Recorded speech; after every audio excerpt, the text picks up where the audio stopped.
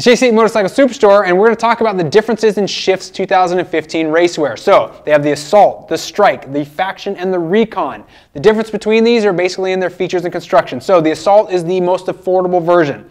These three are all motorcycle or motocross specific. That's an off-road set of gear. So, what you get here, the main difference between the Assault and the next step up, the Strike, this does not use leather on, in terms of the heat shield. Also, you're going to see it doesn't have quite as much stretch material in the crotch or on the back of the legs as well, so not quite as flexible. Now the Strike, this is their midline gear. The difference between this to the Faction it does use the nice leather uh, knee, which is great. However, it does not have the floating yoke on the back of the pants. So again, not quite as much flexibility here. Also, the knee protectors are a little bit different styled as well. So on the Faction, this is their top line stuff. Here's that free floating yoke we were talking about. This is great, lots of flexibility.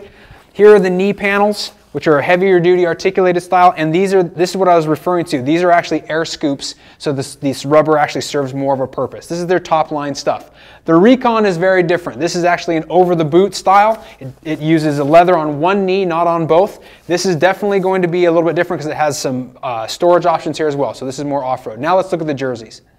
The jerseys are all very, very similar, but a couple key differences. So basically with the Assault, what you have is the same material on all the panels all the way around. Nice polyester mix. They all have sublimated graphics, so they're very fade free and they'll last a long time. But as we move to the Strike jersey, this thing has, as you can see, a different type of material on the front than the back. This is a a more mesh panel, so you're gonna have better heat uh, exposure on the back. It'll help release that heat away from your body.